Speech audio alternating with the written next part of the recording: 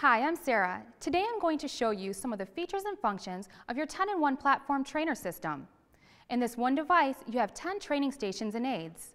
You have access to a dip rack, an ab dolly, an adjustable height step with safety handrails, a six-level plyo box, a massage stick, a foam roller, a slant board, an adjustable height push-up station, a set of suspension bars, and a utility bench all at your disposal without having to wait or share.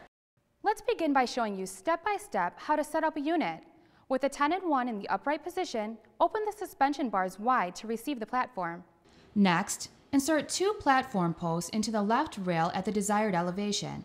Then, line up the right rear post of the platform with the back keyhole. Close the right suspension bar like a gate and make certain that all four posts are secure at the bottom of the keyholes prior to beginning any training.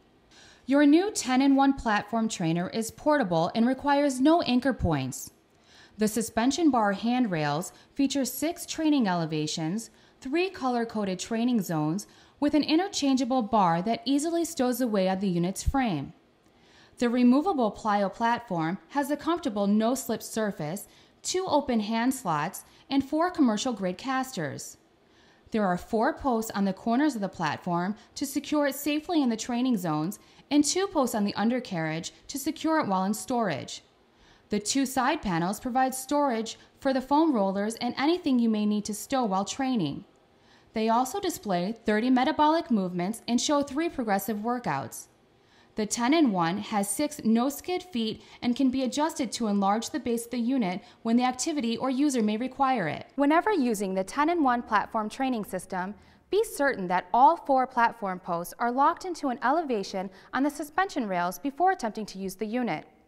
If you find that your movements cause the unit to feel unstable and you feel like you may cause the unit to tip, place the unit next to a wall when you use it until you're strong enough to use it away from the wall. Remember, our goal is to progressively intensify the training experience without injury.